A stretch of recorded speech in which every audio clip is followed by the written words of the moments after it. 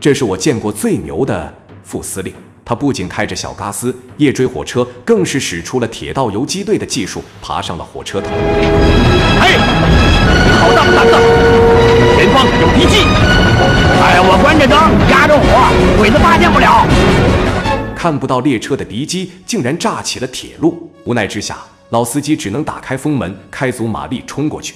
一时间，滚滚的车轮冒着满地的硝烟，乘风破浪，眼看就要杀出重围。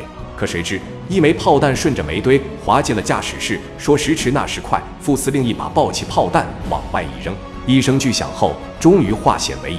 而就在此时，老司机却不可思议的一拉手刹，急停火车，跳下车厢，跑向了后方。难道他这是要逃跑吗？面对美军不计成本的狂轰滥炸，他们又是如何与敌人斗智斗勇的呢？今天就让我们一起去看看志愿军的战士们是如何用土法子挑战美军先进的战争机器吧。前面我们讲到，在美军每天上千架战机的轰炸与四十年一遇洪水的双重肆虐下，战士们虽然以顽强的战斗意志顶着美军漫天的炮火抢修铁路，基本做到了敌人炸多少我们就修多少，但每天这样被动挨打，肯定不是长久之计。为此，铁路局的梁副司令决定连夜上前线，可刚上火车就遇上了美军飞机的轰炸。老司机几个神操作，不光让他心服口服，而此时的突然下车更让他一头雾水。而让他几乎惊掉眼球的操作还在后头。只见老司机一把松开挂钩，只开着火车头向前飞奔。他十分不解地问：“老兄弟，你刚才那是？我这是轻装上阵，把敌机引开。”在梁副司令的目瞪口呆之下，老司机竟然凭借着火车头吐出的白气遮住敌机的视线，干掉了一架战机，开着火车打游击。这一战让这位副司令看到了希望。只要思想不滑坡，办法总比困难多。但要打赢这场战争，光靠被动防守肯定不够，得加强防空力量。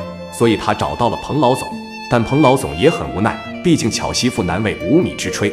空军虽已组建，但一时半会也形成不了战斗力。只能给他们弄了一批数量不多的防空高射炮。前面我们讲到，这种老式的机瞄高射炮，别说击落美军的喷气式战机，连追踪瞄准都是个问题，连吓唬的功能都算不上，一轮轰炸就能让他们化为废铁。然而，在几次较量之后，高炮部队的战士们却打出了经验：你在天上飞，我们就拉着高炮满地跑，跟你打游击。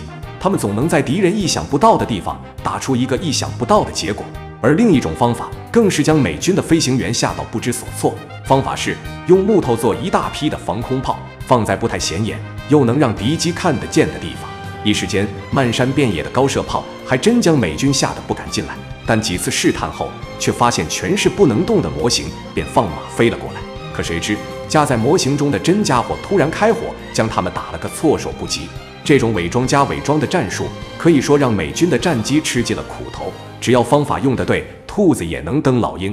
三番五次之后，美国佬也学精了，不炸线路了，专炸交通枢纽。这种炸法不光能摧毁运输线，还能炸毁物资。更重要的是，目标大，可以高空抛洒，而且还使出了一种能延时的重型炸弹。一场更加严峻的战斗正式打响。请看下集《反绞杀战三》，什么叫遇强则强？